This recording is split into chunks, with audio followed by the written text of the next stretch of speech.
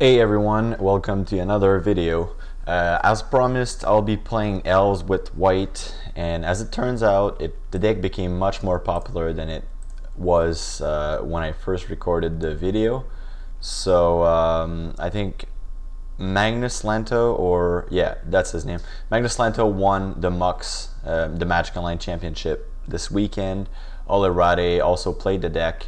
Uh, one of my friend, actually, the, the, my friend who recommended to play the deck, um, like three weeks ago or something, he won a 50-player PPTQ um, in our province, and so let's just say that the deck is real now. It's definitely real. So, um, uh, so what's going to be important now is uh, trying to find the best versions for each weekend, each each metagames, and um, so as promised, I said I was going to play with white, and uh, turns out also that the players were playing white at the MOCS, and my friend was also splashing white when he won his tournament. Um, except that I'm a little different than other versions. I'm a little bit more white. By that I mean that I'm playing Linvala for the mirror mate for the mirror match, and it's also good against the pod deck. Well, the fake pod deck, the, the other the, the other ab, uh, collected company deck, so the, the Abs and Miller deck. Um, so uh, we I could not afford playing Linvala with only like four white sources, so I'm playing more. I'm playing a total of five, six, seven, eight, nine, ten. I'm playing ten white sources uh, plus Cavern of Souls, which is kind of a white source for uh, our creatures. So I, I was gonna play. We had Kor Firewalker at some point, but it's just a chord for it basically and collect company. But the fact that we couldn't cast it was bad. But now I have more white sources, so I'm able to cast it. So we have Kor Firewalker, uh, Burrenton Forge-Tender, Kataki. The Aven Mindcensor is not great because it's usually too late when you chord for it or company uh, company for it against the, the decks where it's good. Uh, but it's basically just my fourth uh, Beast Within that sometimes could be good if I get it, if I search for it. I also have a one of Fauna Shaman in the main deck. Basically, I moved my two dismembers that I had in the main deck for into the sideboard, and they, I turned them into Path to Exile because I have more white sources. So the main deck, I have one Witness, which is really good with Collected Company, and I have a Fauna Shaman. Besides that, it's pretty much the same. Uh, I, did, I, I cut some of the cards like Thragtusk, Garruk, the cards that were more uh, uh, situational for cards that are better with the white and uh, the chords. And uh, yeah, so that's that's about it. I didn't change all that much besides that. And the mana base, uh, oh yeah, I, I did change one Nykthos for one Gavony Township because I have the white, so I'm gonna try it. I had one Okina Temple to Grandfather, which I forgot the last time I played uh, with monogreen, but with this version, I can't really afford to cut a forest for uh, Okina. So I'm gonna play some basic forest, and I have Horizon Canopy as just one more white source, and it's it's fine when you flood also. So yeah, let's jump into a daily modern event. Welcome to round one of this modern daily event. I'm playing with green white elves. We're on the play. So my opponent sent me a message saying, hey, I enjoyed your modern elves video, so hopefully he doesn't put us on elves and kept a double Grim Lavamancer, double fetch hand. so um, yeah, this is a one-lander, but that's going to be a keep. We have two mana elves, possibly three with Heritage Druid. Right, here, be careful of not saying elk It happened to me before. Um, elf.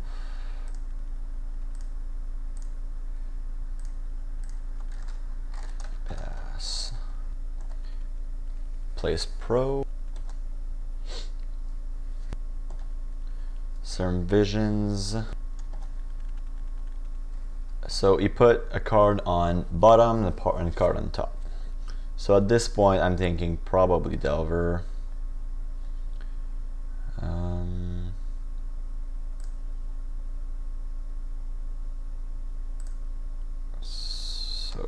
gonna go with Elvish Mystic instead of Visionary Um, uh, I think the biggest reason is mostly that I want to make sure that I have my third land. Um, although what I could do is play Visionary the next turn if I play Heritage Druid. I kind of have three, even four mana, but not if he kills something. But basically, I just rather play more elves right now than just playing one Elvish Visionary. I like playing Visionary when I'm looking for business, but now I'm looking for lands and I have the option of just playing a land and possibly a second one. So I'll do this. Yeah, Bloodstained Mire. So it's got to be Grixis Delver. Oh, Pyretic Ritual. So it is Storm. Okay, and he fires a Grapeshot to kill two of our of our elves. That is I mean it's annoying but we did get rid of a Grapeshot and a Pyretic ritual so let's just assume it's going to gain us some time. Um, visionary fully drawing land and we don't. Thought scour into desperate ritual and sleight of hand place sleight of hand and then plays nothing else. All right, we got a land, so I'm playing uh, Elvish Archdruid. Hopefully we get to untap with it, play a bunch of thing, and then win two turn from here.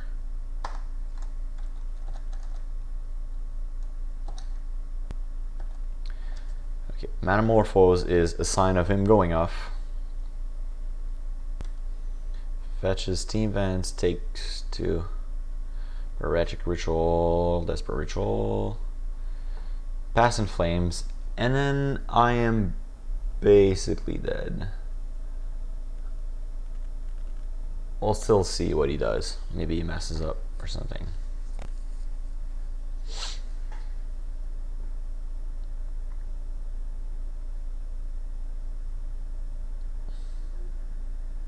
Yeah, this matchup's got to be horrible. He goes off about the same turn, same turn as us, but I expect he has Pyroclasm in his sideboard and stuff like that, and we can't really try to board in things and stuff to be fair, because obviously we're just going to lose to the combo if we do that, because we're not going to raise them. So we have to hope he doesn't have Pyroclasm, I think, after board, and hopefully he doesn't draw well, but I think this matchup is poor. Uh, I could have Thalia in my sideboard. I'm probably going to board in Beast Within because it's better than some other cards. I guess I have Scavenging Ooze, which is a not bad of an answer to um, Past in Flames. Uh, you could board in Empty the Warrens, but it's not very good against our elves. There's a good there's a good chance that we actually just we outnumber him in creatures. So um, yeah, so we'll, we're gonna have to Ooze is probably going to be our best card after sideboard. Um, Path to Exile is not very good. We have Kataki is not good. I guess I, I could board in Burrenton Forge-Tender. Uh, I don't think it protects me from Grapeshot. Yeah, it does not because it's multiple sources. It does protect from Pyroclasm. So there's a good chance I'm going to board that in.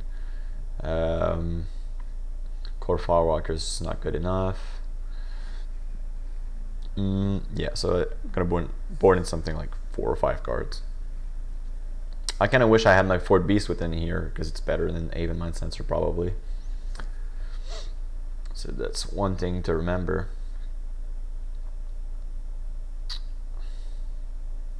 So I've not been following what he's been doing. Hopefully it's Magic Online so I cannot get cheated. Which is the fun thing. Um, there's four mana left. He Graves shot me for 20. Alright, I'm dead.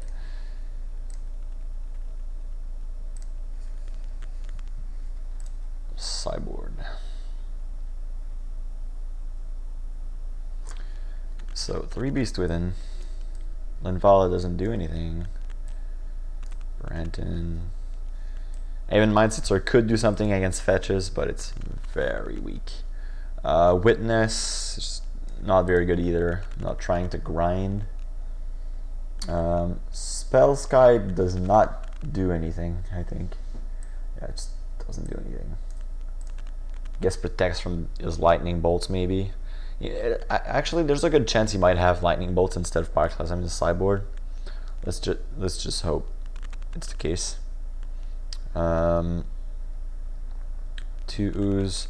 Sage is good for uh, Pyromancer Ascension, which I believe will keep. Fauna Shaman could be too slow. Yeah, actually, it's probably too slow. Or these three for sure. And then probably board one of Calling because it's kind of slow. For a Brenton for oh, I actually have a Witness main deck, so I'm gonna move away to Witness for the fourth gender.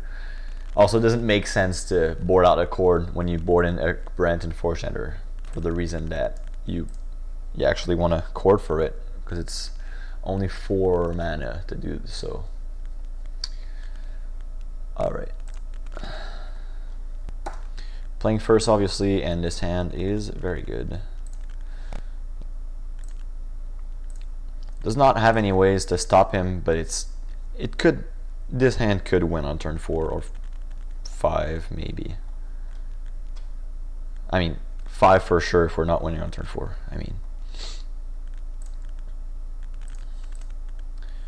gonna start with um,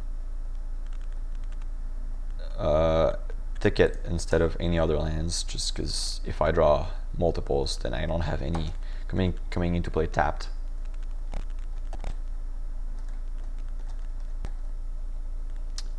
Of Hand. So we did not mulligan. It could be, it's bad news. It's got to be bad news. We have a bad matchup and we don't have any piece of hate. So we, it's possible we just lose that game. I mean, it's it's a bold statement just from saying that he kept his seven hand, but he has he has a good matchup and then he didn't mulligan. We have to hope he basically doesn't do much for us to win the game. Alright, so we're going to play Ezuri here. The reason, I mean, there's no reason. It's just mana efficient, really. He probes for 2 life. Could possibly kill him faster. Mire into Basic Mountain, Desperate Ritual, Pyretic Ritual. Are we going to get killed on turn 2? Empty to Warren, so we did board that in. Alright. Alright, so we're playing Heritage Druid, followed by Nettle Sentinel. And then we get to play, um, get to tap three, and then play Collected Company. Here, I, I actually messed up. I should have kept Pendelhaven untapped to kill one guy. Um, yeah, that was bad. It might not matter. So if we hit uh, Elvish Archdruid, we're probably just winning next turn. Or Nykthos, something like that. So before blockers, gonna cast. Uh,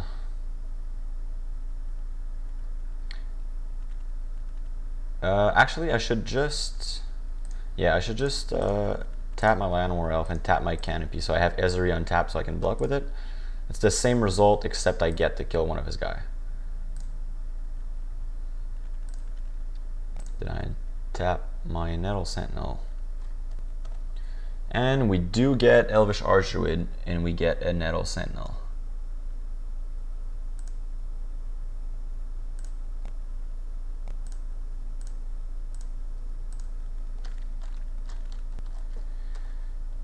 So he plays Echoing Truth. So I forgot about that one. So it's a good thing to know. Echoing Truth's that. We're still in very good shape. We get to kill, I mean, he's never racing us at this point. Um, Okay, so he, he has lightning bolts. So it's it's a little bit worse, but we're still because it's the sentinel. We we never lose the goblin race. He has two cards in hand, so it's unlikely combos off. So even if we don't kill him in the next like two turns, we're probably in very good shape anyways. All right, so I drew Beast Within. Um, here I'm playing Ezuri attacking. He has six goblins, so if I play Ezuri, I attack for three, six, seven, eight, nine, ten, and then next turn he's four. Oh no, it's not true. It's not a lord. It doesn't pump yet. So, all right. So I attack first, obviously. This, this. I play Ezuri. One, two, three. Um, yeah, so I, I send just these two. I'm gonna play um,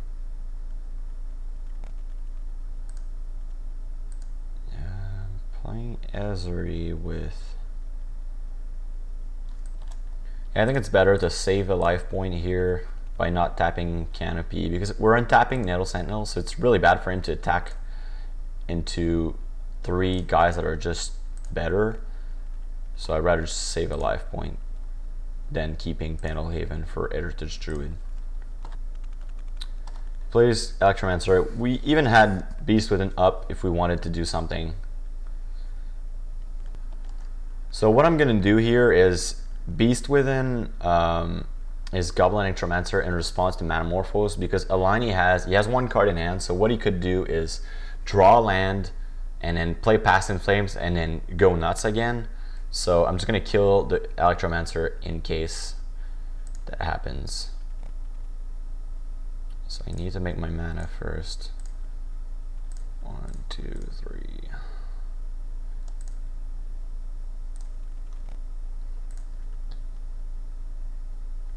It's possible I should have just killed the land to just to make sure, but it's possible it would have gone crazy with Pyromancer Ascension too. So I think I'm fine just keeping it on tap, keeping my beast when uh, my beast within in my hand.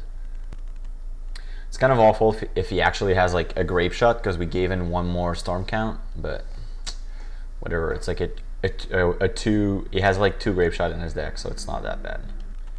So we ended up doing nothing with the mana. Uh, land would be good.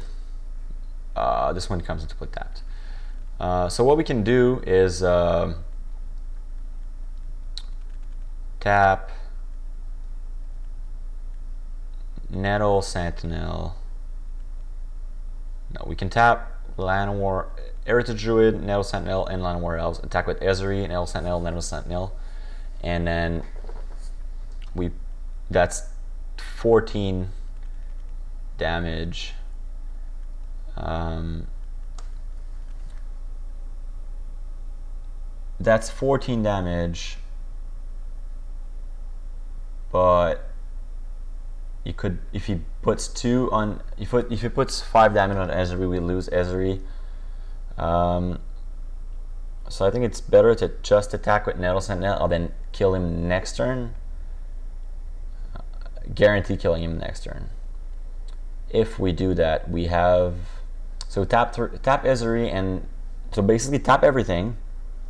Tap Druid, Ezuri, and Llanowar Elf. We have three, four, five. We pump, attack with both, and then if he blocks, if he tries to kill something, we can regenerate, which doesn't really matter. But we have nothing. We are all tapped, so we could attack for nine. We're down to five, so it doesn't really matter. We could lose the double bolt, but whatever. So um, yeah, so attack with those two. All right, so we're happy that he blocks like that because it doesn't change our clock. We're going to kill him in next turn anyway, and then it potentially. Uh, I mean, he, ha he had to block some way, but that way makes us unable, it makes sure that we're not losing to double bolt. One, two.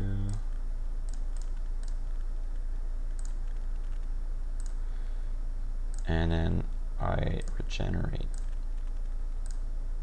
this elf. And I decided to not kill the beast. I'd rather have a 3-3 than 3-1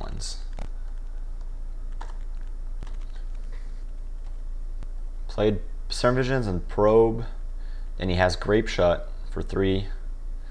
So we're not killing him that turn again. He's hanging in there, but we do have another Ezuri. Alright, so he passed after that. So, I'm just going to play. And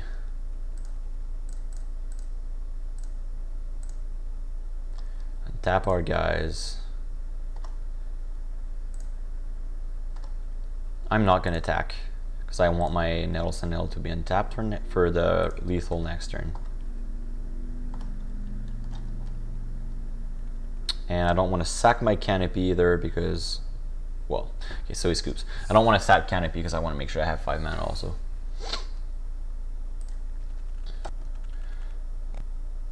So I don't think I'm going to change anything. I don't think Echoing Truth change eh, changes anything to what I want to do. So we're to try that again. And again, I have one lander with uh.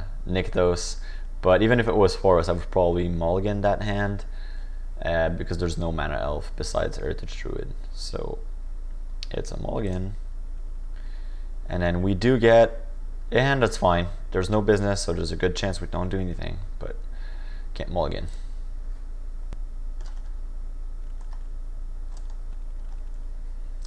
Had no turn one cantrip.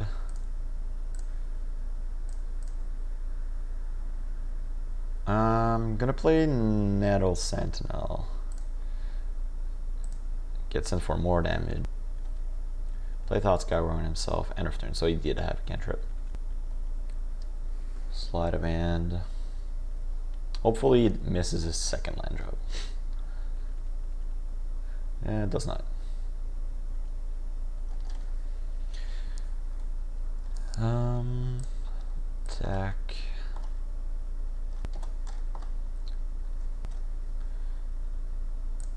and I get to play two L's.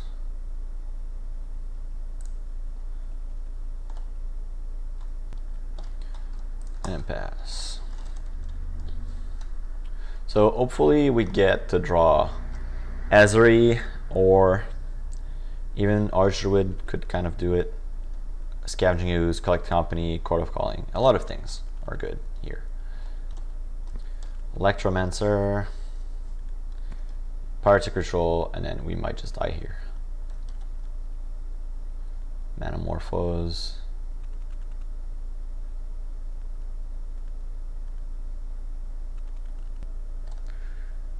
Plays Grapeshot.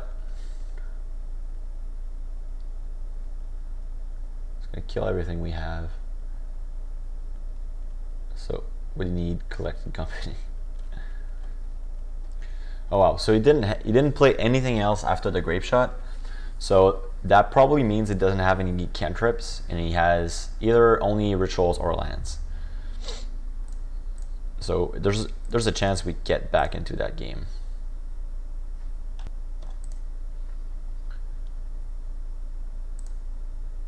Playing this temple tapped and then shipping the turn. So he had Steam Vents and then nothing else. So my I think my assessment of him having lands or ritual is probably true. Sack this canopy.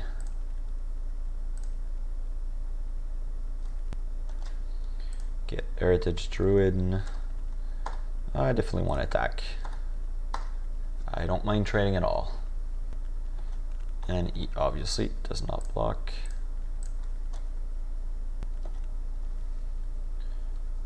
and then pass. Serum Visions. Serum Visions here is a very good draw for him. This Cry 2 is basically like drawing two cards. He's gonna get whatever he wants. What I need here is Ooze so he doesn't go crazy again with uh, this Past in Flames card. One other good news that he put both cards on bottom. which means he's still drawing a random card. This card doesn't do much. Still get to attack with this.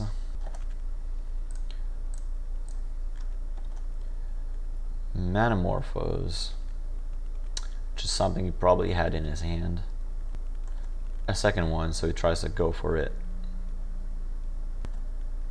Probe. Desperate Ritual. A land. Probably has another cantrip because he fetched right away.